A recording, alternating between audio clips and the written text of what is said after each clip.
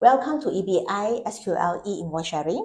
We proudly invite Mr. Bryan Cheong, who is the ambassadors and speakers of SQL accounting software. He is a CEO of Syntax Technology as well.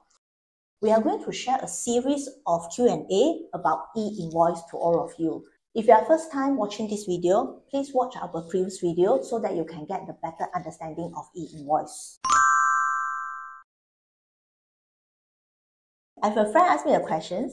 If she employ the kakak that clean for her office, which this maid do not issue invoice, and the company need to pay him with the payment vouchers. Under this situation, what are the supporting documents the company can use? Under e-invoice era, as I mentioned before, e-invoice is used for proof of expenses and also proof of income. So if you want to declare the payment to your kakak for the tax purpose, then you need to have a e-invoice.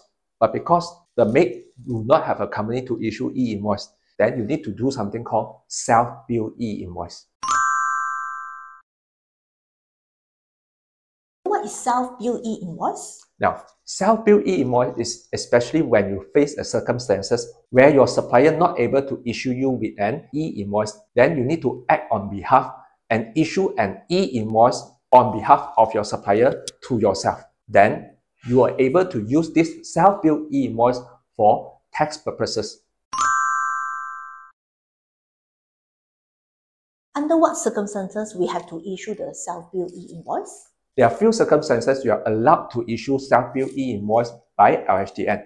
First of all, you make payment to your dealers, agents, and distributors who are not a registered company.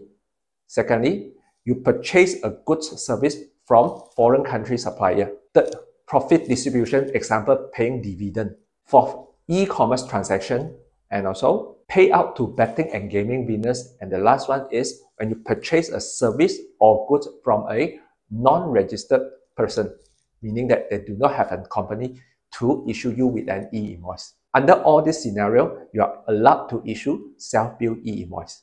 Wow, sound not that easy. But anyway, it's good for us to learn all this and then get ready yourself.